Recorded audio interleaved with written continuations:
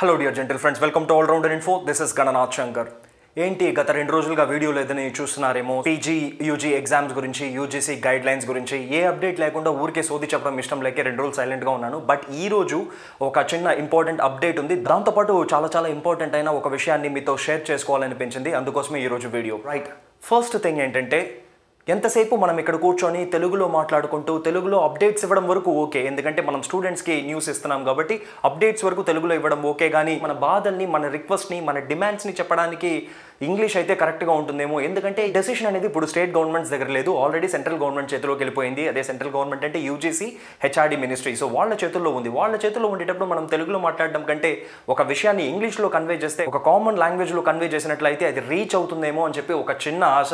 So ఆ ఆశతోనే ఈ రోజు ఈవినింగ్ కానీ లేకపోతే రేపు మార్నింగ్ కానీ తప్పకుండా ఐ ప్రామిస్ యూ ఒక వీడియోని ఇంగ్లీష్లో యూజీసీకి రీచ్ అయ్యే విధంగా ఒక వీడియోని ఇంగ్లీష్లో చేస్తున్నాం. అండ్ మీకు ఒక చిన్న రిక్వెస్ట్ ఆ వీడియో గురించి ఇంగ్లీష్ వీడియో గురించి సడన్గా ఇలా ఇంగ్లీష్లో వీడియో పెట్టేస్తే కంప్లీట్గా ఇంగ్లీష్లో వీడియో పెట్టేస్తే కొంతమంది దాన్ని అపార్థం చేసుకునే సిచువేషన్స్ కూడా ఉన్నాయి. ఏంటంటే నీకేమైనా ఏమైనా పెద్ద బిల్డప్ నీకే ఇంగ్లీష్ వచ్చని చెప్పి పొద్దు పోజా అని చెప్పి అనుకునే సిచువేషన్స్ ఉన్నాయి. స్టూడెంట్స్ మిస్కమ్యూనికేషన్ అయ్యే సిచువేషన్స్ ఉన్నాయి. కమెంట్స్లో బండ బూతులు తిట్టే అవకాశాలు కూడా ఉన్నాయి కాబట్టి ముందుగానే ఇలా చెప్తున్నాను.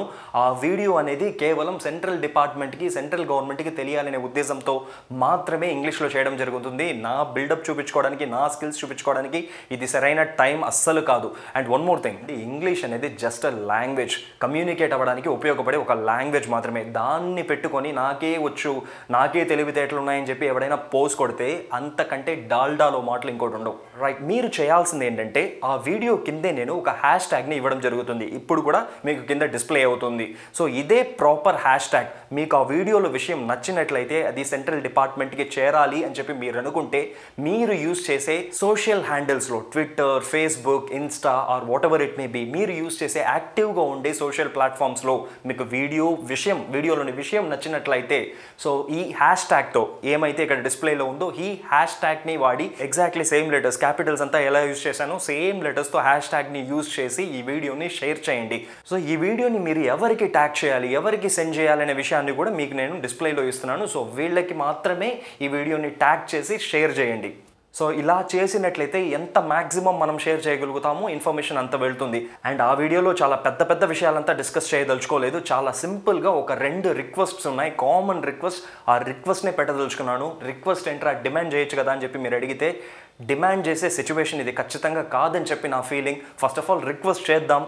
డిమాండ్ అనేది ఎప్పుడు కూడా ఫైనల్ అస్త్రంగా ఉండాలి. ఫైనల్ వెపన్గా ఉండాలి. కానీ ఇనీషియల్గా మనం ఏదైనా రిక్వెస్ట్తోనే స్టార్ట్ చేయాలి. So that I'll be making request in English tomorrow అనమాట రైట్ ఇకపోతే ఒక చిన్న అప్డేట్ రెండో విషయం ఏంటంటే నిన్నటి వరకు ఫోర్ స్టేట్స్ అనేటివి యూనివర్సిటీ గైడ్ లైన్స్ని వ్యతిరేకిస్తూ ఆ సెంట్రల్ గవర్నమెంట్కి ఎడ్యుకేషన్ డిపార్ట్మెంట్కి హెచ్ఆర్డీకి లెటర్స్ రాయడం జరిగింది. ఆ స్టేట్స్ ఏంటంటే వెస్ట్ బెంగాల్ పంజాబ్ మహారాష్ట్ర అండ్ ఒడిశా సో ఈ నాలుగు స్టేట్స్ లెటర్స్ రాశారు. సో యూజీసీ గైడ్లైన్స్ ప్రకారం మేము ఎగ్జామ్స్ కండక్ట్ చేయలేము. ఇట్స్ నాట్ పాసిబుల్ సో మాకు సిచ్యువేషన్స్ ఇక్కడ చాలా వర్స్ట్గా ఉన్నాయని చెప్పి లెటర్స్ రాయడం జరిగింది.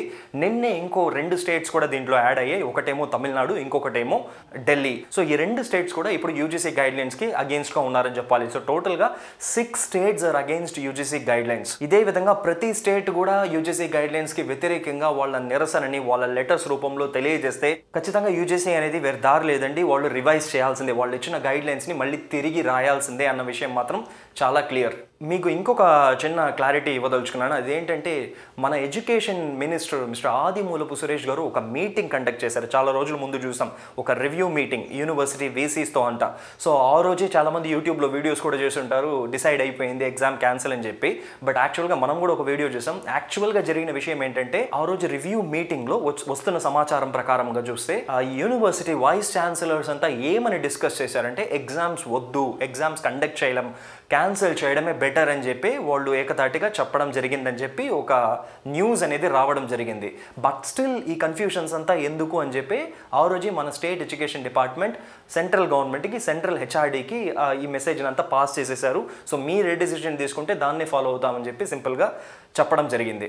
ఒకవేళ స్టేట్స్కి గనక అథారిటీస్ ఇవ్వగలిగితే సెంట్రల్ గవర్నమెంట్ స్టేట్స్కి గనక అథారిటీస్ ఇవ్వగలిగితే మేబీ ఏపీలో అండ్ టీఎస్లో కూడా ఎగ్జామ్స్ క్యాన్సిల్ అయ్యే ఛాన్సెస్ చాలా ఎక్కువ ఉన్నాయి.